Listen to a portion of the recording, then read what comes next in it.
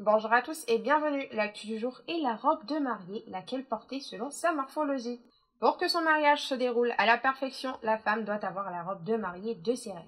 Il est important d'en choisir une qui correspond à sa morphologie. Évasée, longue, voici des conseils vestimentaires afin de savoir pour laquelle opter pour être tendance, sexy et à la mode selon ses formes. Quelle robe de mariée privilégiée pour la silhouette en X? La morphologie en X ou en sablier est définie par la taille fine et les épaules et alignées.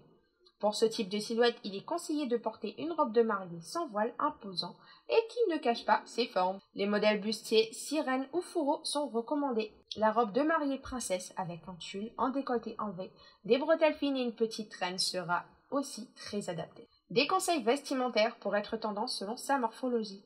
Pour les silhouettes en H et en A, certains conseils vestimentaires sont à prendre en compte. La première mentionnée se distingue par les hanches, la poitrine et la taille alignées. Dans ce cas, pour être tendance glamour et à la mode, il est essentiel de mettre le haut de son corps en valeur en optant pour un décolleté plongeant ou dans le dos. Il faut également miser sur une robe de mariée droite et fluide. Il est aussi possible de s'orienter vers un modèle dos nu avec un bustier, un corset asymétrique et des petites manches en dentelle. Pour les femmes ayant la silhouette en A ou pyramide, soit des épaules plus fines que les hanches, une robe de mariée évasée vers le bas et centrée à la taille est ce qui leur ira le mieux.